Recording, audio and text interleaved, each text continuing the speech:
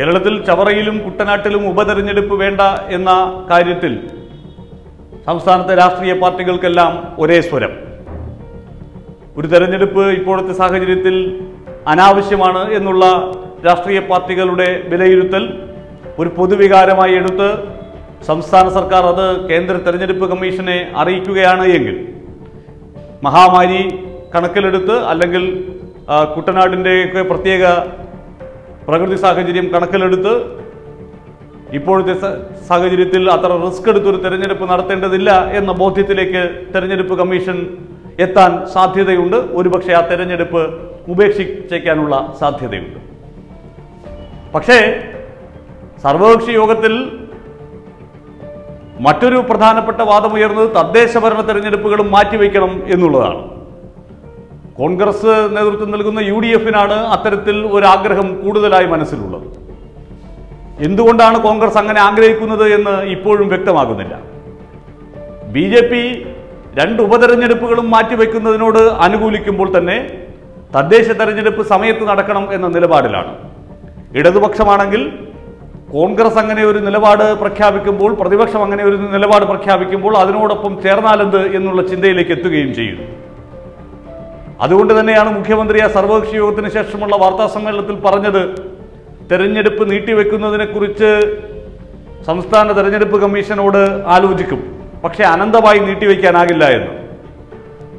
രണ്ടു കാര്യങ്ങളാണ് ഇവിടെ പ്രസക്തമാകുന്നത്. ബി ജെ പി ഉന്നയിക്കുന്ന വളരെ പ്രസക്തമായ ഒരു കാര്യം അതിനകത്തുണ്ട് താനും.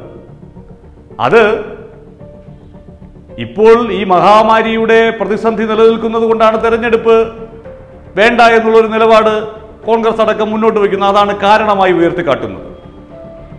ആ ഒരു സാഹചര്യം എപ്പോൾ മാറുമെന്ന് എങ്ങനെ പ്രവചിക്കാനാകും?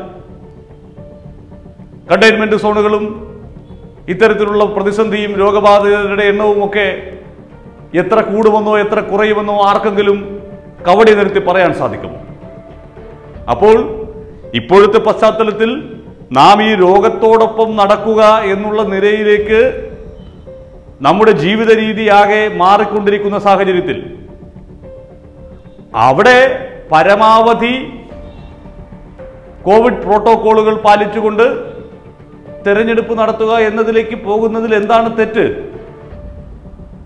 മാറ്റിവെച്ച് ഇപ്പോൾ നവംബറിൽ നമ്മുടെ യഥാർത്ഥത്തിൽ നമ്മുടെ പഞ്ചായത്ത് രാജ് മുനിസിപ്പൽ ആക്ട് പ്രകാരം നവംബർ പന്ത്രണ്ടാം തീയതി പുതിയ ഭരണസമിതികൾ ചുമതലയേൽക്കണം. അത് നീട്ടിവെക്കാനാകില്ല. നമ്മുടെ ഭരണഘടനയിൽ തന്നെ ഈ തെരഞ്ഞെടുക്കപ്പെട്ട ഭരണസമിതികളുടെ കാലാവധി അഞ്ചു വർഷമാണ്. അത് നീട്ടാൻ പറ്റില്ല എന്ന് കൃത്യമായി എഴുതി വച്ചിട്ടുണ്ട്. അതുകൊണ്ട് ഭരണസമിതികളുടെ കാലാവധി പന്ത്രണ്ടിന് കഴിയും പുതിയ ഭരണസമിതി വരണം. പിന്നെ നമ്മുടെ പഞ്ചായത്ത് മുനിസിപ്പാലിറ്റി ആക്ടിൽ ചില പ്രൊവിഷൻസ് ഉണ്ട്.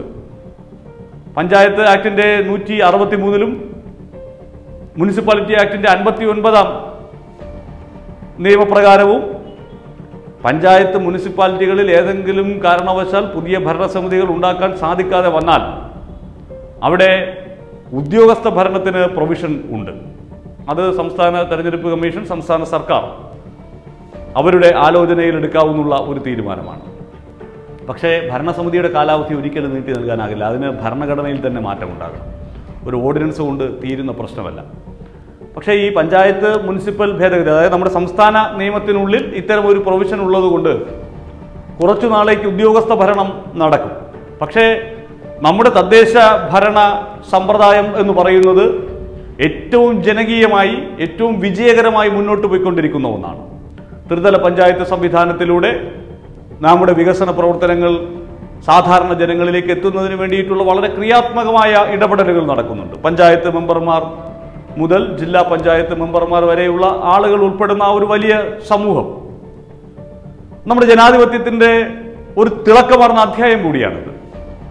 അത് ഉദ്യോഗസ്ഥ തലത്തിലേക്ക് ഒരു ഉദ്യോഗസ്ഥനോ അല്ലെങ്കിൽ മൂന്ന് ഉദ്യോഗസ്ഥർ ചേരുന്ന ഒരു സമിതിയോ ഈ തദ്ദേശ സ്ഥാപനങ്ങൾ ഭരിക്കാം എന്നുള്ളതാണ് ആ പ്രൊവിഷൻ. അങ്ങനെ വരുമ്പോൾ എന്നേക്ക് തിരഞ്ഞെടുപ്പ് നടത്താൻ സാധിക്കുമെന്ന് അറിയാതെ ഇങ്ങനെ മുന്നോട്ട് പോയാൽ അതിന്റെ അവസ്ഥ എന്താകുമെന്ന് നമ്മൾ സാമാന്യം ആലോചിച്ച് നോക്കിയാൽ മതി. അപ്പോൾ ഈ പറയുന്ന ഒരു ന്യായം അതായത് മഹാമാരി ആയതുകൊണ്ട് തദ്ദേശ തെരഞ്ഞെടുപ്പ് മാറ്റിവെക്കണമെന്ന ന്യായത്തിൽ എന്ത് അടിസ്ഥാനമുണ്ട് എന്ന് ബോധ്യപ്പെടുന്നില്ല. കാരണം ഇതുപോലെ തന്നെയായിരിക്കും ഇനി കുറേ നാൾ കാലം മുന്നോട്ട് പോവുക. കേന്ദ്ര തെരഞ്ഞെടുപ്പ് കമ്മീഷൻ അടക്കം ബീഹാറിലെ പൊതു തെരഞ്ഞെടുപ്പ് അടക്കം നടത്താൻ തീരുമാനിച്ചിട്ടുണ്ട്. അങ്ങനെ ഇരിക്കെ നമ്മളിവിടെ ഈ തെരഞ്ഞെടുപ്പ് മാറ്റിവെക്കണമെന്നുള്ള മുറവിളി കൂട്ടുന്നത് എന്തിനാണ് എന്ന് മനസ്സിലാകുന്നില്ല. ഇടതുപക്ഷത്തിന് അത്തരമൊരു ചിന്ത പൂർണമായില്ല. പക്ഷേ കോൺഗ്രസ് കൂടി അങ്ങനെ പറയുകയാണെങ്കിൽ ആ തെരഞ്ഞെടുപ്പ് ഒന്ന് മാറ്റിവെച്ചാൽ കൊള്ളാമെന്നുണ്ട്. യഥാർത്ഥത്തിൽ സംസ്ഥാന നിയമസഭാ തെരഞ്ഞെടുപ്പിന് മുമ്പ് മറ്റൊരു തെരഞ്ഞെടുപ്പിനെ അഭിമുഖീകരിക്കേണ്ടതുണ്ടോ എന്നുള്ള ചോദ്യം ഈ പ്രധാന രാഷ്ട്രീയ പാർട്ടികളുടെ മുന്നിൽ നിൽക്കുന്നു എന്നുള്ളതാണ്. ബി ജെ പി പക്ഷേ എന്തായാലും ആ വിഷയത്തിൽ എടുത്തിരിക്കുന്ന നിലപാട് നല്ലതാണ്. ആ നിലപാടിന് കയ്യടി കിട്ടുകയും ചെയ്യും. കാരണം നമുക്കിത് എപ്പോഴാണ് ഈ മഹാമാരി ഒഴിഞ്ഞുള്ള ഒരു കാലം ഉണ്ടാവുക എന്ന് പ്രവചിക്കാൻ കഴിയാത്ത പശ്ചാത്തലത്തിൽ? അതിനോട് ചേർന്ന് നിന്നുകൊണ്ട് സാധ്യതകൾ ഏതൊക്കെ തരത്തിൽ ഉപയോഗപ്പെടുത്താം എന്ന് തിരിച്ചറിഞ്ഞുകൊണ്ട് ഇപ്പോൾ പൊതുയോഗങ്ങളും ഈ പറയുന്ന പോലെ വീട് വീടാന്തരം കയറി കൂട്ടത്തോടെയുള്ള പ്രചരണവും ഒന്നും നടക്കില്ല എന്നേ ഉള്ളൂ. ബാക്കി ആളുകളിലേക്ക് കാര്യങ്ങൾ എത്തിക്കാൻ രണ്ടുപേർ ഒരു വീട്ടിൽ പോയി ഒരു ലഘുലേഖ നൽകുന്നതിൽ എന്താ പ്രശ്നം? രണ്ടുപേർ ഒരു വീട്ടിൽ പോയി തങ്ങളുടെ രാഷ്ട്രീയ ആശയങ്ങൾ പ്രചരിപ്പിക്കുന്നതിന് എന്താ പ്രശ്നം? വോട്ട് ചെയ്യാൻ നമ്മൾ എപ്പോഴും പലപ്പോഴും ഈ ക്യൂകളാണല്ലോ പലപ്പോഴും ഉണ്ടാകാറുള്ളത്. അത് വോട്ടിംഗ് കേന്ദ്രങ്ങളുടെ എണ്ണം കൂട്ടി അത്തരത്തിൽ കോവിഡ് മാനദണ്ഡങ്ങൾ പാലിച്ചുകൊണ്ടുള്ള ഒരു വോട്ടെടുപ്പ് സാധ്യമാകുമെങ്കിൽ അതേക്കുറിച്ച് കേന്ദ്ര തെരഞ്ഞെടുപ്പ് കമ്മീഷൻ അടക്കം അതിന്റെ പ്രാവർത്തിക വശങ്ങളെക്കുറിച്ച് കൃത്യമായി ബോധ്യപ്പെട്ടതിന്റെ അടിസ്ഥാനത്തിൽ തെരഞ്ഞെടുപ്പ് നടത്താൻ തീരുമാനിക്കുമ്പോൾ നമ്മൾ എന്തിനാണ് അതിൽ നിന്ന് മാറി നിൽക്കുന്നത്?